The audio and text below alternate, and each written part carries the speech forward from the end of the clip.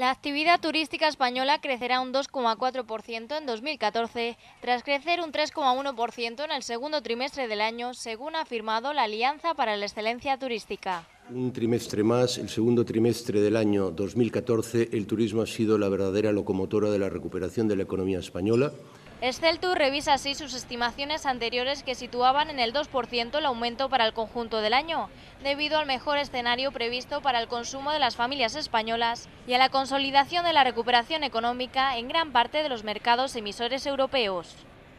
Cabe destacar la recuperación de la demanda española.